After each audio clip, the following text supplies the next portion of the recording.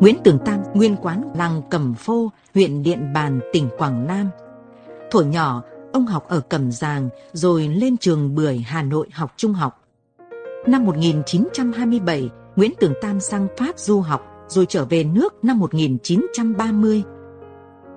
Năm 1932, ông làm chủ bút tờ báo Phong Hóa, khởi xướng thành lập tự lực văn đoàn rồi trở thành cây bút chính của nhóm, đồng thời sử dụng bút danh Nhất Linh cho hàng loạt truyện ngắn và tiểu thuyết. Nhất Linh từng giữ chức Bộ trưởng Ngoại giao trong chính phủ Liên hiệp kháng chiến.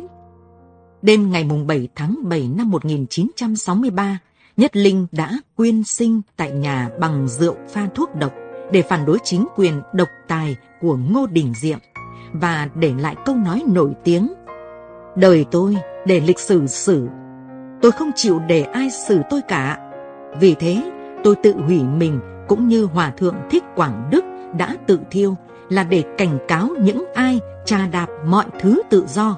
Chúng tôi xin gửi tới quý thính giả một chuyện ngắn của Nhất Linh với nhan đề Cái Tẩy. Chuyện được rút từ tuyển tập truyện ngắn Nhất Linh, nhà xuất bản Văn học Ấn Hành năm 2018.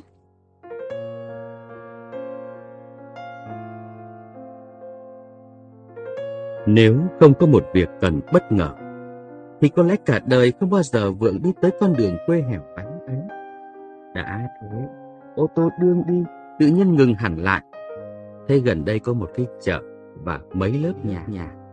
Vượng để mặc tài xế chữa xe, đi rẽ xuống một con đường nhỏ tìm quán uống nước. Chàng vào một cửa hàng tạp hóa đưa mắt nhìn xem có chai nước chanh nào không. Bỗng chàng ngạc nhiên kêu anh. Một người mặc áo cộc trắng đưa ngồi cặm cụi cho Lạc Giang vào chai Ngừng nhìn vượn một hồi lâu Rồi đứng thẳng dậy như cái máy Reo một tiếng thật to Và cũng kêu như vượn Anh!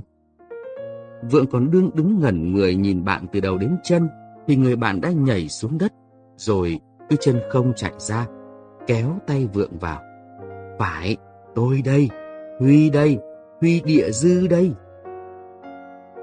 Vượng không ngờ đâu, người bạn học cùng một trường với chàng đã hai lần đi thi tú tài, nay đương ngồi cho lạc vào chai ở một cửa hàng tạp hóa nhỏ, cạnh một chợ quê tiểu tụy.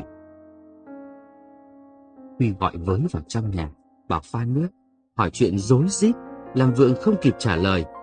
Tuy vậy, Huy vẫn không quên cho nốt chỗ lạc giang còn thừa lại vào chai. Chàng lấy một cuốn sổ mỏng gập đôi lại, rồi thả lạc trôi dần dần vào chai và phồng má, hồi mạnh, cho vỏ lạc bay ra ngoài. Vượng chưa kịp nói câu gì, vì chưa biết bắt đầu ra sao. Vừa mới hỏi được một tiếng anh, thì bạn đã gật lấy gật để, đáp ngay. Phải tôi. Vượng gắt. Ai chả biết là anh, nhưng anh làm gì ở đây? Huy đáp. Nhà tôi đây, anh chưa biết à? Mà anh biết làm sao được. Anh ở Tây về bao giờ? Tôi về đã hai năm nay. Đỗ gì rồi? Đỗ kỹ sư. Khá đấy. Huy khen bạn một cách thản nhiên không mảy may lộ chút thèm muốn. Hình như đã lâu lắm rồi, chàng không nghĩ đến những sự thi cử học hành. Một người đàn bà không đẹp không xấu, mặc áo nâu cải huy, chân đi guốc, ở trong nhà bước ra. Huy nói khẽ, nhà tôi. Rồi chàng chỉ vượng, giới thiệu với vợ. Đây là bác ký vượng ở trên Thái xuống chơi. Mình bảo nó làm cơm bác sơi. Vượng lấy làm lạ. Không hiểu tại sao Huy lại tự tiện cho mình là một ông ký. Chàng mỉm cười ngẫm nghĩ. Có lẽ vì trong kỹ sư có chữ kỹ, đổi một cái dấu thì thành ký ngay. Vượng không hỏi bạn vì lẽ gì, đành tạm cho mình là một ông ký vậy. Chàng từ chối không nhận ăn cơm, lấy cớ chỉ đợi tài xế chữa xe xong lại phải đi ngay. Huy hỏi khẽ, bác đi ô tô của bác. Thế thì bác bảo tài xế ở ngoài xe, đừng vào đây, sợ nhà tôi biết. Rồi tôi sẽ cho bác hiểu vì sao. Thấy có người vào mua hàng, Huy vội đứng lên. Xin lỗi bác. Chàng tươi cười hỏi khách, chè đầu xuân mới về, tôi vẫn để dành cho ông một bao đấy. Chàng rút ra một bao, mở nắp, để mũi vào ngửi hít mấy cái, rồi cẩn thận gói đưa cho khách. Vừa đưa, vừa thân mật hỏi. Thế nào, ông đã lo được tiền đăng cai cho cháu chưa?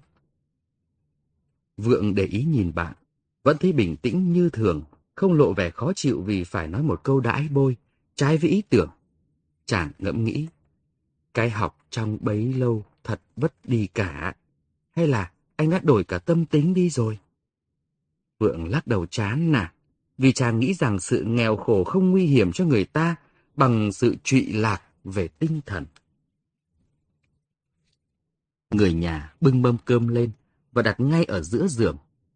Đồ ăn tuy nhiều, nhưng vì để trong những cái đĩa đàn trên một cái mâm cỗ đã bong sơn, nên trông không có vẻ ngon lành. Vượng quay mặt cho bạn khỏi ngượng, vì chàng đoán chắc bạn cũng ngượng như chàng. Huy ngồi vào mâm so đũa, nhìn mâm cơm, nói với Vượng. Hôm nay không phải phiên chợ, ba sơi tạm bữa cơm dưa muối. Thức ăn đã chẳng có gì, mà người nhà lại vụng về. Nói vậy, nhưng Vượng thấy bạn có vẻ mặt khoái trá của người sắp được dự một bữa tiệc rất sang. Chàng thấy bạn so những chiếc đũa sơn cong queo một cách âu yếm và gượng nhẹ đặt ngay ngắn bên cạnh mâm. Vượng thấy nét mặt và cử chỉ của bạn có vẻ tự nhiên, là những nét mặt và cử chỉ vẫn thường có hàng ngày, chứ không phải tô tạo ra để cốt làm vui lòng một người bạn. Ăn cơm xong thì trời vừa chiều, Huy rủ Vượng ra hiên sau ngồi uống nước. Bên cạnh một giàn mướp đầy hoa vàng, có để một cái bàn cũ và một cái ghế tre dài. Vượng vừa hút thuốc lào vừa nhìn ra. Cái cảnh khu cánh đồng bùn lầy nước đọng phẳng lì đến tận chân trời, gieo vào tâm trí trà một nỗi buồn mênh mang, với những ý tưởng chán nản về cuộc đời, sống ở những chốn quê hẻo lánh. Bên một cái dậu nứa, đã đổ nghiêng dưới sức nặng của những cây mồng tơi, một con lợn xề gầy gò ve vẩy đuôi, lê bụng, đi từ từ giữa một đàn lợn con chạy loang quang. Huy ngả người vào lưng ghế, giang thẳng hai tay có vẻ khoan khoái, bảo vượng. Cái hiên này mùa hè đến mát lắm. Vượng thấy bạn có vẻ hồn nhiên lạ lùng, hình như từ thuở bé chàng vẫn sống trong cái cảnh này, và chàng còn muốn sống trong cái cảnh đó cho đến hết đời. Lúc ấy Vượng mới nhận ra rằng mình buồn. Mình thương bạn. Không phải vì thấy bạn gặp cảnh nghèo, mà thật ra vì thấy bạn không có thể nào thoát khỏi cảnh nghèo được, không có sức để cất đầu lên được nữa. Chàng lẩm bẩm một câu bằng tiếng Pháp. Thật là hết. Chàng toàn nói cho Huy rõ ý tưởng đó, nhưng chàng biết là vô ích nên lại thôi. Huy không sao hiểu được nữa. Hai người ngồi yên lặng một lúc lâu, bỗng Huy quay lại phía vượng hỏi đột ngột như đã đoán được ý nghĩ vẩn vương trong óc bạn. Anh thấy tôi đổi khác trước nhiều có phải không? Bảy tám năm rồi còn gì? Trời tối hẳn, Vượng và Huy không còn nhìn rõ mặt nhau, nhưng tiếng nói của Huy vẫn đều đều lọt vào tai Vượng. Lúc nói chuyện, hai người cùng sống trở lại những ngày vô tư lự của cái thời học trò 9 năm trước. Có tiếng vợ Huy trong nhà hỏi, sao mình không thắp đèn lên? Huy vội ngắt lời vợ, thôi, không cần. Rồi chàng lại bắt đầu kể chuyện cho Vượng nghe. Thế là tôi rớt về địa dư và lịch sử. Mặc dầu anh em đã gọi tôi là Huy Địa Dư. Vượng nói, anh rớt có lẽ vì anh học thuộc quá, thuộc cả chấm câu, chấm phẩy, số trang. Huy cười, anh không nhớ có lần làm bài về địa dư, tôi bắt đầu ngay bằng một câu, như tôi đã nói ở trang 45, mục 7. Nghĩa là tôi cứ viết theo nguyên văn trong sách. Của đáng tội, tri học của tôi không lấy gì làm sáng suốt cho lắm. Tôi chỉ được một cái chăm học thuộc lòng. Mà chăm như thế thì cô thì lấy đỗ để lấy liên. Chắc anh đã biết liên. Lạ gì? Liên, con cụ tuần đạo.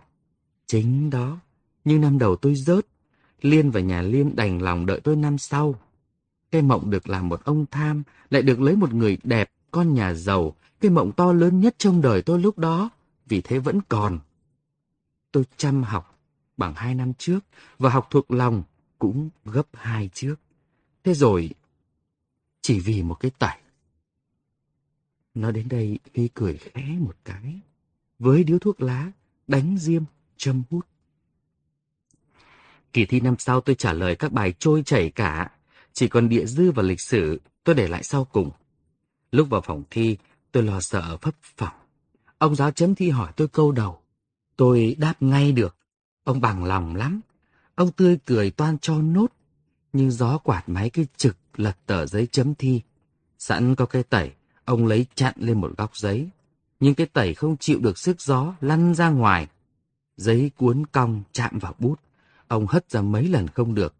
Đập tay xuống tỏ vẻ khó chịu và bảo tôi ra tắt quạt máy đi. Ông hỏi sang địa dư, thấy chán ông lấm tấm mồ hôi. Sợ ông vì nóng quá mà đâm ra gắt gỏng nên tôi ra vặn quạt cho chạy. Ông mỉm cười khen. Tốt lắm, con ạ. Bằng tiếng Pháp. Con sung sướng lắm. Con hỏi đâu, đáp đấy. Trôi như nước chảy. Ông cầm bút, cho nốt và tiện tay lấy cái tẩy chặn lên góc giấy. Tôi lo lắm. Chỉ lo tẩy nhẹ quá, gió lại hất giấy vào bút, làm ông phát bẩn, không cho nốt cao. Hai mắt tôi nhìn đăm đăm vào cái tẩy, như bị thôi miên. Cái tẩy khẽ rung động, tôi lẩm bẩm. Này, nó sắp lăn, nó sắp lăn. Cái tẩy lăn đi một vòng, tôi nín hơi đợi. Nhưng vì lúc đó sức gió yếu nên nó đứng lại ngay. Cái tẩy lại rung động, tờ giấy lại lật mạnh. Thấy cái tẩy bị hất ra ngoài sắp lăn xuống đất, tôi nghiêng người toan chạy lại. Ông giáo vừa cho xong nốt, nhưng bị tờ giấy hắt vào bút, mực dây ra cả tay. Ông ngừng nhìn tôi, và thấy tôi đưa nghiêng người về đằng trước, chăm chú vào tờ giấy cho nốt, có vẻ khả nghi. Ông đập bàn. Được lắm, anh muốn nhìn nốt, tôi sẽ dạy cho anh cách nhìn nốt. Anh vừa gan vừa khéo nịnh. À, tôi nhớ ra, lúc nãy anh vặn quạt máy cốt để giấy lật, để anh nhìn nốt cho rõ, phải không? Ông liền xóa nốt cũ đi, cho tôi một con số khác. Không phải hình quả trứng, thì cũng là hình cái gậy. Lẽ cố nhiên là tôi rớt. Nhà cô Liên và cô Liên lẽ cố nhiên là không đợi tôi và đợi chức tham biện với số lượng hơn trăm đồng mong ước kia. Tôi đau, tôi khổ, tôi kêu trời kêu đất mất gần nửa tháng. Chí tôi không lúc nào không nghĩ đến cái tẩy. Nếu cái tẩy ấy nếu có nặng hơn một tí, một tí nữa thôi, thì tôi đã đỗ. Cô Liên đã lấy tôi. Tôi đã sung sướng. Tuy ngừng lại một lúc lâu, rồi nói tiếp một cách chậm rãi như cân nhắc từng tiếng. Bỗng một hôm tôi nghĩ ra, tôi sực tỉnh, tôi tự bảo, nếu bao nhiêu điều mình mơ ước, nếu hy vọng của cả đời mình chỉ dựa vào cái tẩy bé con, một cái tẩy khốn nạn vô lý, thì hạnh phúc ở đời mình không thể nào chắc chắn được. Đi đuổi tốn công, phải làm thế nào cho hạnh phúc ở đời phải ở mình, chỉ ở mình thôi. Khi nhắc lại, hạnh phúc chỉ ở lòng mình, hạnh phúc ở sự yên tĩnh của tâm hồn. Khi mình đã có cái bình tĩnh đó, thì không cái tẩy nào làm mất được. Thật là chắc chắn, kiên cố. Thế là từ hôm đó tôi khỏi buồn, người tôi đổi khác hẳn. Tôi lăn lộn rất nhiều nơi, có lúc làm lụng vất vả trong các nhà máy, các hầm mỏ. Có lúc giàu, có lúc nghèo. Ngồi bán chè ở cái chốn quê sơ xác này. Nhưng chỉ cảnh ngộ đổi khác, còn ở trong vẫn không thay đổi. Nếu cái tẩy làm tôi vất vả, thì trái lại nó đã cho tôi thấy hạnh phúc trong tám năm nay.